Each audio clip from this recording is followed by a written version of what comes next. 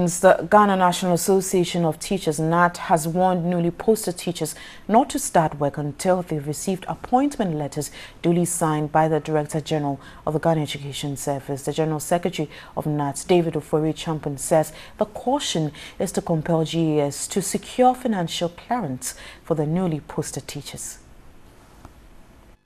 More than 1,000 teachers have been posted to the various districts across the country to begin work for the 2016-2017 academic year. The teachers want to know when they will receive their first salary. The General Secretary of GNAT, David Ofori-Acheampong, lashed out at the Ghana Education Service for failing to properly orient the teachers before posting them.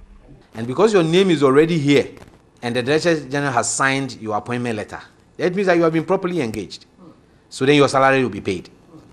If you have, it has been delayed for one month, two months, it will be paid together. And then going forward, there will not be any request from you to produce any other further document.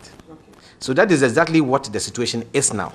And this is why I'm saying that we expected the Ghana Education Service to have communicated this to the newly trained teachers and at least to the Ghanaian people that this year going forward, changes have come in the way our teachers are taken on board.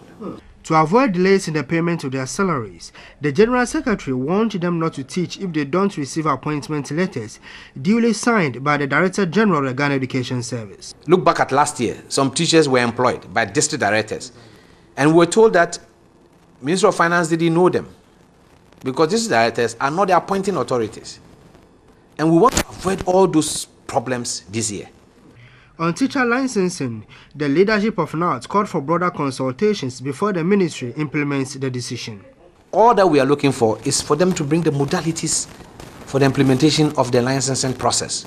Then where we think that it is right, we will say it is right. Where we think that it is not, we will tell them it is not.